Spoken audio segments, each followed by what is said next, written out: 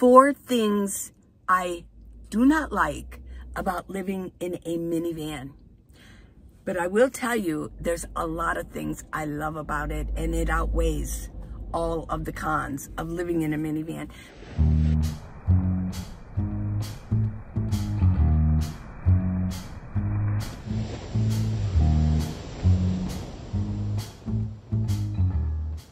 Minivans have special issues because they're smaller, but there's so many other things that are good about them.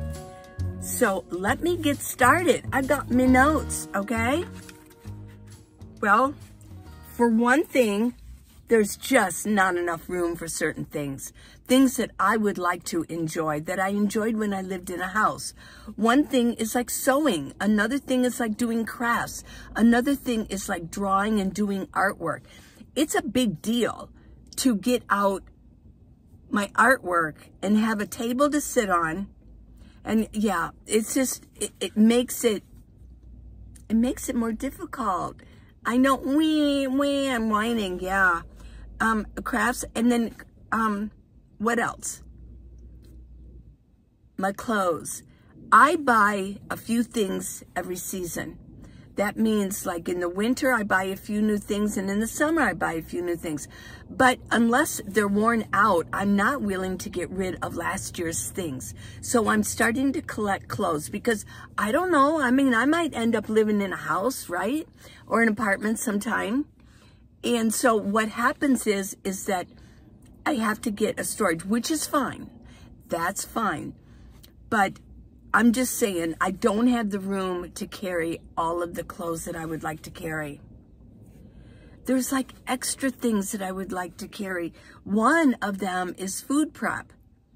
I mean, they say that you should have food, you know, for prepping for, uh, just in case there's an emergency. And, uh, you know, a prepper, prepper stuff, you should have food stored, food and water. And living in a minivan, that's really difficult to do. Now, I could leave it in my storage, sure.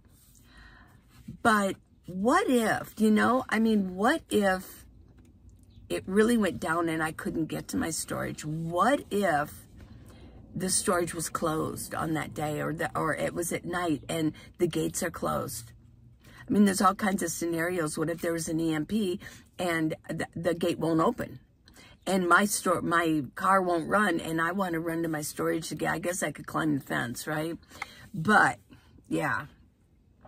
So there's extra things too that would be kind of fun to carry and, and have and enjoy. Number two is cleanup. It's not easy cleaning up a small space. There's less cleanup, I will say that. So that's a good thing. But one thing is, um, like I have things like behind my dresser. Um, behind, like I have when my rug goes upward, there's things that can get down in there. Sometimes I have to take to really clean my minivan very well. I have to take things out. I have to really spread out, be able to take things out, take all the blankets up at the bottom and vacuum that carpet that's under there and just washing everything. I mean, there it's it's harder to clean when there's when you're kind of shoved in or you've got and I don't even have that much in my minivan. Oh my gosh, there's some people are really um, they're packed in there and I'm not really that packed in, but I do find it's a little bit more difficult or it's a little bit more daunting to want to do it. You know, and it's harder to, when you're cleaning, it's harder to do the dishes in a minivan. I don't have a sink. Yeah, I have a small space. And like I mentioned, the corners, trying to get into the corners and really clean up well.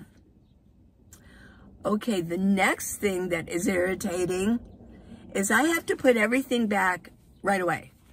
Once I get in my van, I can't just sit my groceries down and get back from the uh, Walmart and then maybe, you know, you like, you could go in the kitchen when you live in a house, you can kind of set them down and go sit down and maybe do something else, make, make a little lunch, make a little drink, and you can kind of sit on your couch and then go put things away later.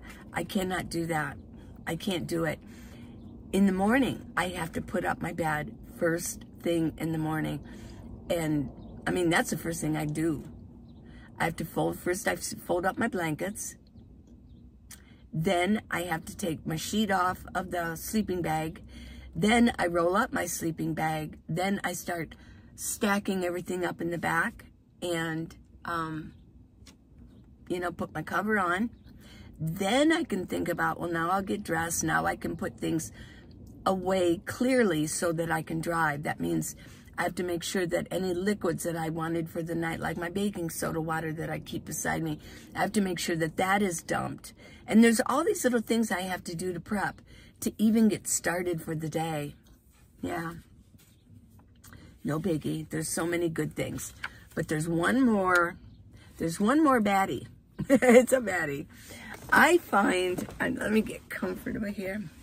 I find that living in a minivan is can be bad for relationships when you have relationships with people, close relationships. It was really bad um, when um, I was with my travel partner, with my romantic travel partner. It was, it, it really, I think it really, um, people say, oh, that was good that you had your own space, but I don't think for uh, getting close, close, like we were, we felt that we were close emotionally, we couldn't get close physically. I mean, that was almost near impossible. And when I did go into his van, I mean, he, he can't fit in here. And when I did go into his van, I mean, that was, um, Abby was still with him. And I mean, that was Abby's space. That was Abby's chair. And uh, it just, yeah, it was, and then the seats weren't together. So I was sitting over there and he was sitting over here. And I don't know, you know, we could talk, but I mean to really like hug and, and be cuddly, be cuddly. And I'm not talking about, you know, like uh, romantic sex, but I'm just talking about even just getting cuddly. It, it was almost near impossible. It really was. Um, and then it's hard to meet new people.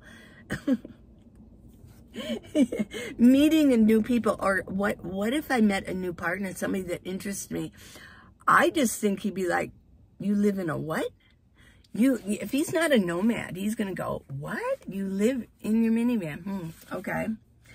And, but that would be a non-nomad, but even a nomad, if you were going to have a relationship with another nomad, um, I just don't think it's that easy living in a minivan.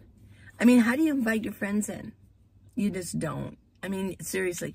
I did have my friend that one time, she would come in here, and I think she went back to Colorado. I think she leaves, I think she left on Friday. But um, she was fine to sit. She would push her seat back, and I would sit over here, and she would sit here, and we would just chit-chat. She was above, and I was below, like I was, you know, like looking up at her. But it was cool. I mean, that I enjoyed. I really did. I thought, wow, I got somebody over. It's like inviting your friend over to your house. But otherwise, I mean, it can be really difficult, you know, to do that. And like I said, the non-nomads, if you were going to meet somebody you thought, hmm, this might be dating material, right?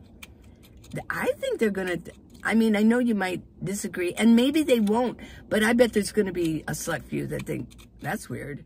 Hmm, how do, how do I date this person? And like I said, it is hard to get close. Now, when I had a home, I could invite my family over for events and I could cook for them. Here, I can't do that. I guess they have to invite me. But these are four things that I mentioned that are, that are, um, they do hamper in a way.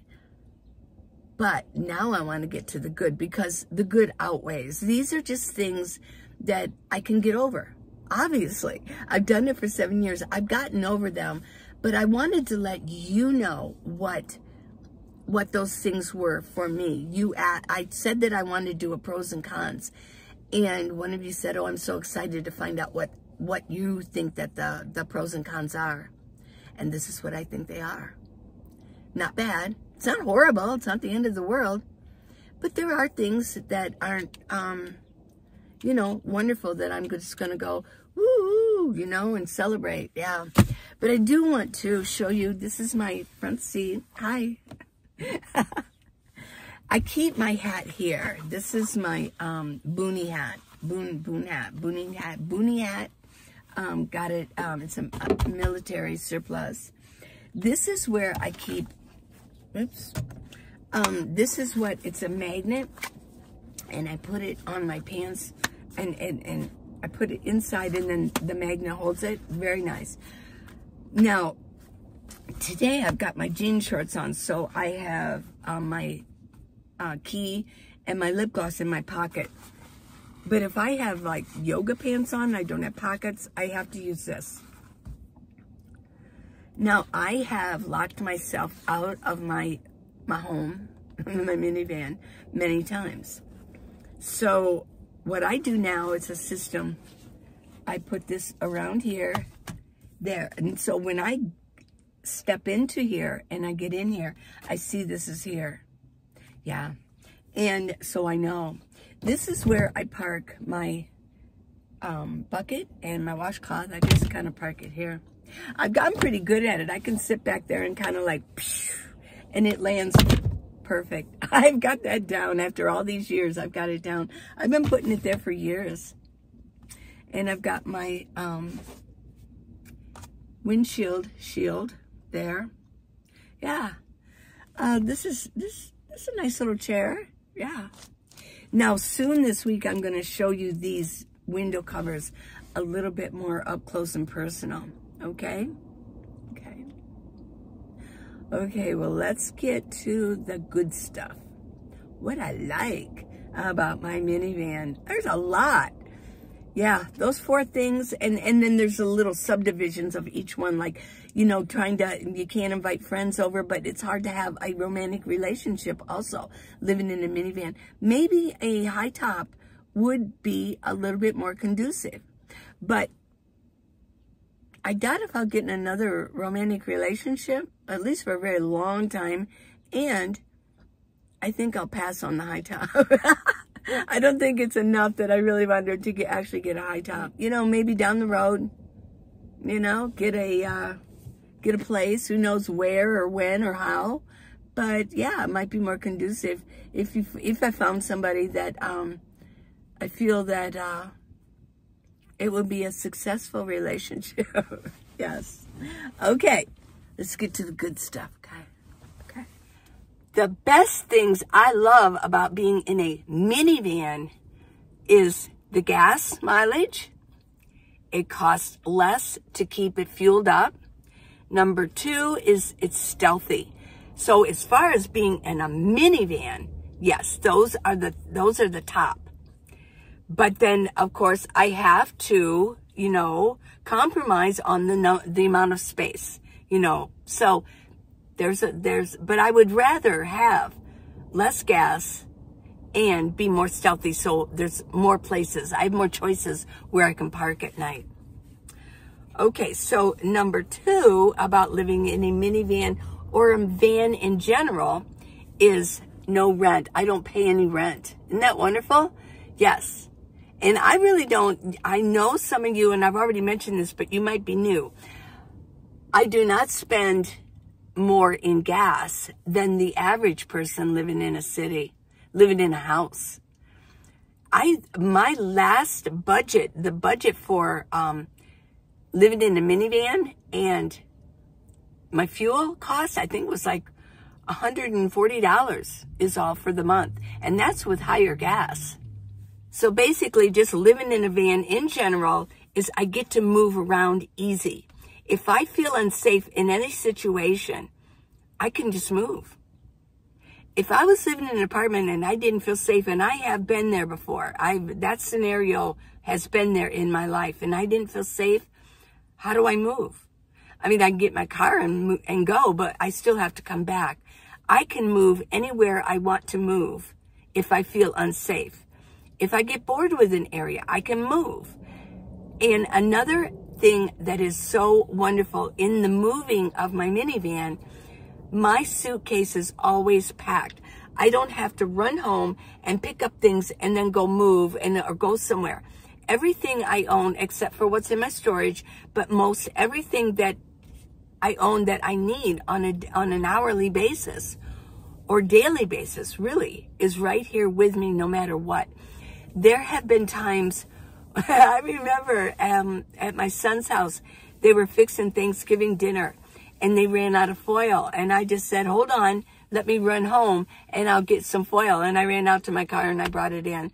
Another time, um, my daughter ran out of paper towels. So I went and got, I went out, got my paper towels and came back in. Those are fun things that you can do. Everything that I own, really, that I need is right here with me. So when I move to another spot, no problem. I've got my toilet here. I've got everything I need. I've got my food. Yeah. So like, for instance, I could go to the zoo and I need to take a break and I don't want to, I don't want to buy anything in the, in the commissary in there. So I can run out to my minivan and just kind of sit and maybe get, make a little lunch or something, get a little snack and walk back in and enjoy the zoo again. Those are just, those are easy things that I can do. Freedom, the freedom. The, if you have not been a van dweller, a nomad, if you have not been inside of your vehicle and it's your home on wheels, there's a freedom that is hard to describe. A nomad knows what I'm talking about. Now, I do have a friend and she's sort of getting ready for the van life. So what she does, she's unhappy in her um, in her resident place, which is not uncommon. And so sometimes she just goes out and sits in her um, vehicle and she just sits there and um, looks out. And she even says, there's such a peace and serene feeling just sitting there in her own vehicle and looking out and people watching. There's another one you get to people watch. That's fun because I have limo tinting on my um, windows and nobody can see me. I mean, unless they really peeked in, but nobody really can see me. And I can just people watch. Yeah, and I do quite a bit. Minimalism. It is wonderful. Now, there's there's a balance there. Now, because my first thing that I didn't like about it was that I didn't have enough space to carry things. But on the other hand, minimalism is really good for the spirit. It really is. There's another freedom. When I first became a nomad and I had I had gotten rid of everything that was in my house. Lots of stuff I got rid of. It was such a weight that lifted off my shoulders. It was wonderful. And that's another thing. It's hard to explain until you until you actually do it which my friend that I just talked about, she's been selling a lot of her things and on, on Facebook Marketplace and, and, and other places. And wow, she said, it just feels so good. She's lightening her load, not only in rent, but you can save money in other places also. You can save money. You know, here's another thing you are going to be healthier. I truly believe that people say, why would that be? I, I've just seen it. When people become a nomad, they usually drop, in the first couple months, they drop five to 10 pounds. They eat healthier. When you have a refrigerator, you got the freezer, you got ice cream, you got, um, you, you can store a lot of junk food in there and then you can go sit on the couch and you don't even realize you're doing it. Then you can um, overeat. I tend to, and when I was in Cincinnati, I could see it too. I was a nomad for a while. And then when I moved in with my daughter and I was there for a little while, I tended, I tend to eat more because the refrigerator's there. You can store more food. Here, I eat, I eat less and I can't explain why, but I do. I don't eat that much being a nomad, which is good for the figure. I, I really am a smaller person. I don't need that much food. And it really stinks to overeat if you're in a minivan. There's just not enough room. It's just, it's a miserable, it's a miserable situation to overeat in a minivan or any van, I believe. Now, coinciding with the food being healthy, I'm always active. I just am. I'm always getting out. I'm climbing over and I'm going out. I'm dumping garbage. I'm walking into the park. I'm going here. I'm going there. And I'm even working a little bit harder here.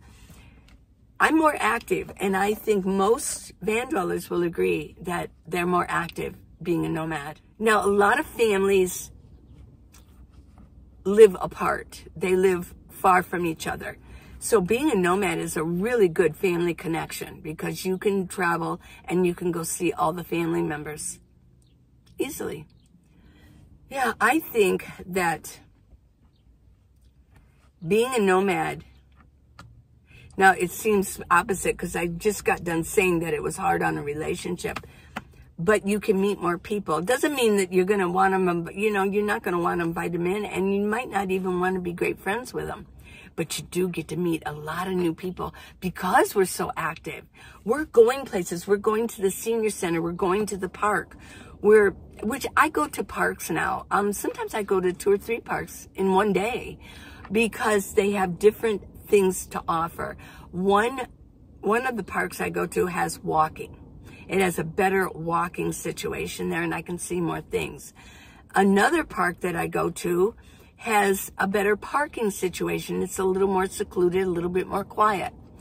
And then another park that I go to really does have more people. There's just more people around and I can people watch just a little bit more and I can um, get out and walk and I can meet people and talk to them.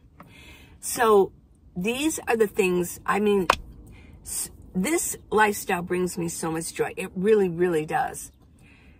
So that's pretty good that there's only about four things that I find kind of irritating, but I have to take the good with the bad, and those are the bad but I'm willing to let it go because there's so many other um, wonderful uh, gifts that this lifestyle offers me and most of my friends and you if you want to do it. Some of you wanted this life, you, some of you want to do this lifestyle. Some of you have to do this lifestyle. You might as well enjoy it. If you have to do it, just enjoy it. I guarantee you, once you get started with it and you get a, and you finally come to the attitude it's like, this isn't so bad, you're going to love it and you're going to find the same joy that I do.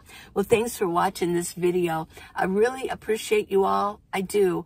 And it, this lifestyle isn't for everybody. It really isn't.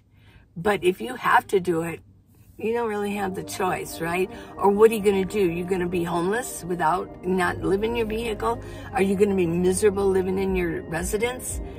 Yeah, I mean, they can be they can be dangerous these days. So please check uh, your subscription. Make sure that you're subscribed. Go to minivanlee.com and check out everything there, okay? Do that for me. Thank you. Well, that's it. I will see you tomorrow. I love you. Bye.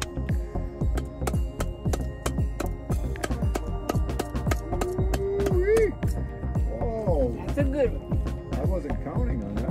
Were you? I think it's like 13. Yeah. You just go, they just go, just keep hitting it up. You have to make them all boom, boom, boom. And are you supposed to look at it or no? Obviously I do better when I don't, because I just